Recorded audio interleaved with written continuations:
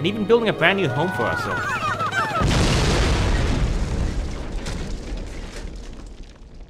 Sorry.